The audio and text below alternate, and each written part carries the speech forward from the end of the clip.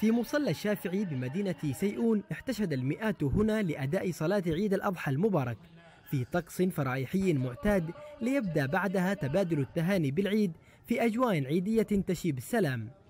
رغم الظروف الصعبة التي تمر بها البلاد من ارتفاع لأسعار مستلزمات العيد من ملابس وأضاحي وحلويات.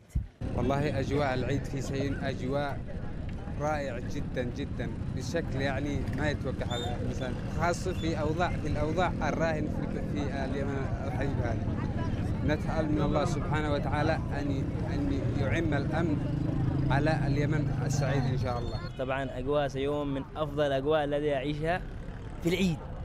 لأنه يعني أغلب سيئون تحضر إلى هذا المصلى. في عدن نادرا ما تحصل يعني أبناء عدن يجتمعون.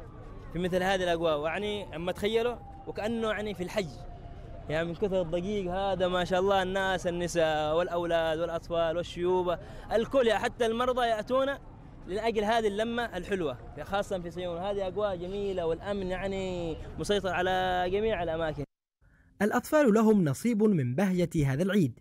من خلال ممارسة عاداتهم من ارتداء ملابس العيد إلى شراء الحلوى والألعاب في هذه الأسواق الشعبية التي تكتظ بالمواطنين بعد صلاة العيد. وفي ظل قلة الحدائق والمنتزهات في وادي حضرموت حيث تكاد تكون محصورة فقط على العائلات دون غيرها. إن شاء الله أن تكون في رخاء تأتي العيد القادمة. قلنا إحنا في تطور في رخاء وفي أمان.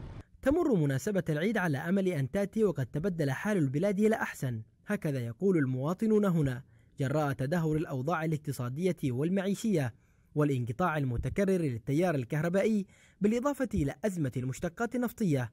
كلها منغصات تعكر صفو بهجتهم بالعيد. حدد مساعد قناة بلقيس من مدينة سيئون حضرموت.